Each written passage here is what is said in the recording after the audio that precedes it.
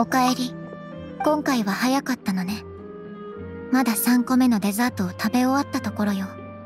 もう3個目かいリネット、食事のバランスには気をつけるって約束だろ？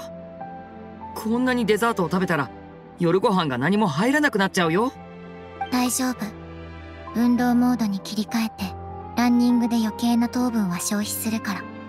まったくヘリクツを。はあ、仕方ないな。次はないからね。分かった。